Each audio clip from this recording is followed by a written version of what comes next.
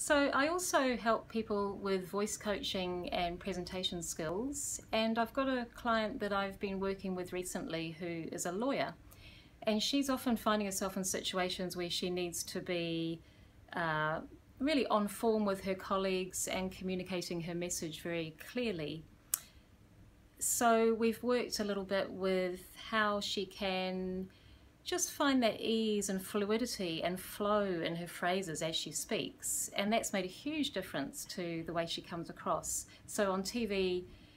uh, recently, she was interviewed and she spoke more slowly and with more pacing and with her breath just quite free. And she came across beautifully. I was so proud of her